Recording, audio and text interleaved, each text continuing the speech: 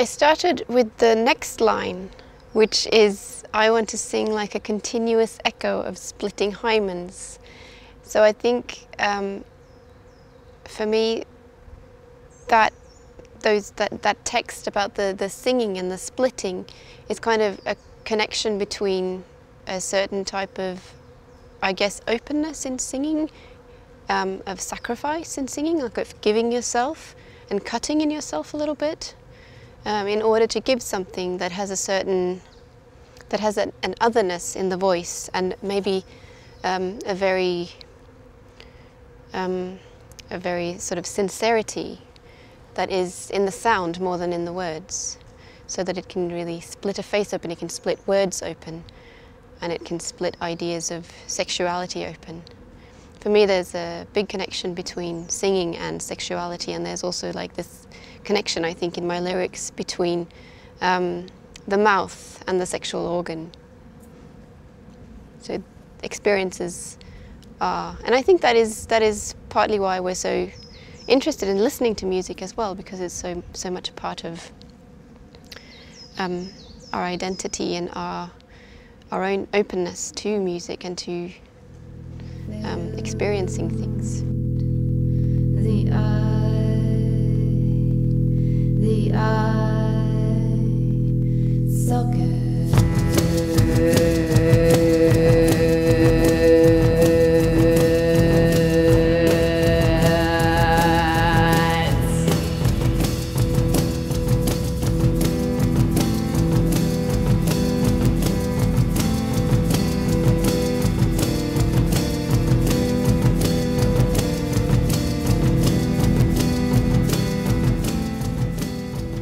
My experience is kind of kind of detached because I wasn't in any way involved in it, and so my experiences was was actually mainly through um, the feeling of this collective um, sorrow, I guess, or mourning, shock, like everybody else, being part of this um, collective um, emotion, and also then meeting it through doing this music because I was I was recording because I was um, creating a piece, and the deadline was like two weeks after the 22nd of July. So I kind of I had no choice but try to make something in that time, and and um, the the TV would always be on. Um, I was at someone else's house working in a in a another city. The- um, so the TV was on, and then I was listening back to what re- what I'd, what I'd recorded, and and these sounds of crying kept kind of coming through, you know, through my headphones from the TV, and sometimes other things, you know, like these really violent sounds that I would instinctively know was from the news reports. So that kind of also this cutting again, that kind of cut really deeply into my experience with my own music, purely through um, the kind of co-presentness. Um, so it was, i in a way, natural but very unnatural as well. And um, so I started thinking a lot about these connections between crying and singing, which is obviously always um, something that listeners are aware of because when you hear a voice that you find very, very moving, it's a sort of, you hear it as a cry, I think. And you kind of, and this, this is what I've, like growing up, I've been listening to lots of music and voices and, and there are certain voices that just kind of makes my body sing and kind of make, makes me feel very touched and it kind of just, um, yeah, it creates a little cry in the body. So I think this was the sort of real life repetition of that recognition, I think. And so I started thinking about that crying versus singing and how connected they are, but in a very different context.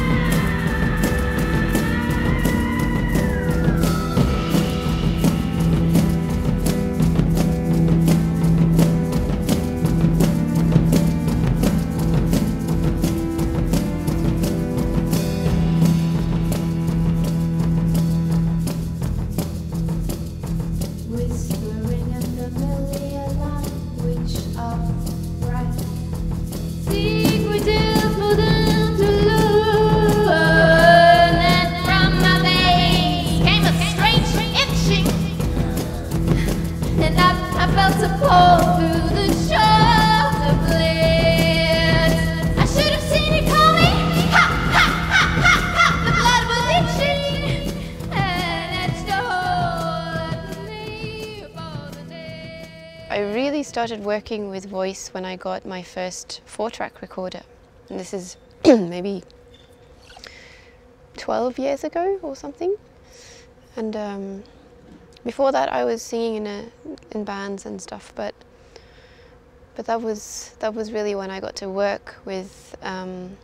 voice as something to record and to then edit and make into something that wasn't that was more than just um, yeah that kind of regular singer-songwriter approach which I've then come to appreciate again later because I think a lot of I've had so many fears about singing and maybe that is actually why I'm so interested in it because it engages with so many fears of stereotypes that I have in myself. So it's the kind of, maybe it's my, my Protestant guilt.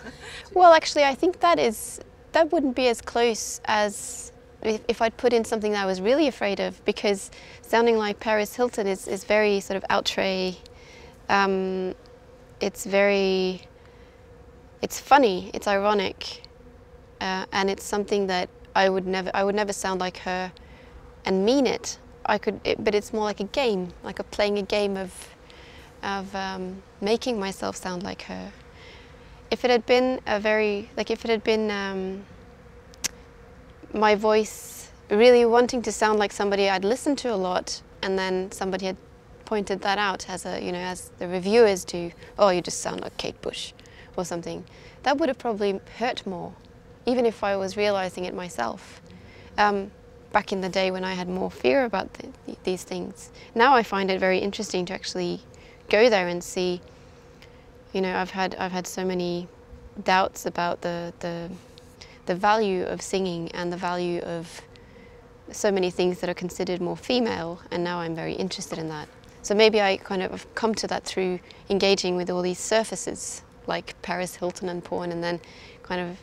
realize that ah, the next step is then to go to what, what is really dangerous. Maybe making something that sounds like pop.